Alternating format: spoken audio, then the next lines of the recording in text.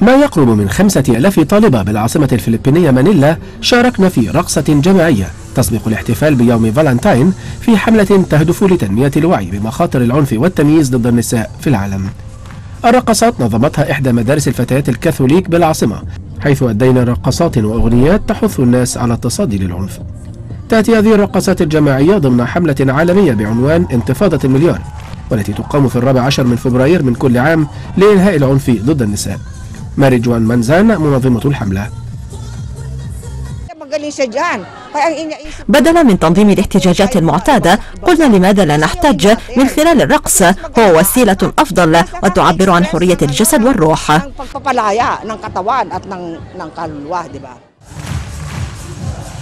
وتقول حملة انتفاضة المليار إن نحو ثلث سيدات العالم تعرضن لإيذاء جسدي وجنسي.